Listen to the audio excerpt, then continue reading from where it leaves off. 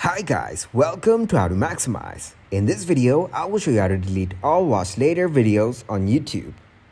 First of all, open up the YouTube app. After opening YouTube, click on Library from the bottom right corner. Then from here, click on Watch Later from Playlists. Click on three dots from the top right corner. Then tap on Remove Watched Videos. Click on Remove to remove all the watched videos. Then swipe left on the video and click on Delete to delete all watch later videos from here. Thanks for watching and please leave a like, subscribe and share.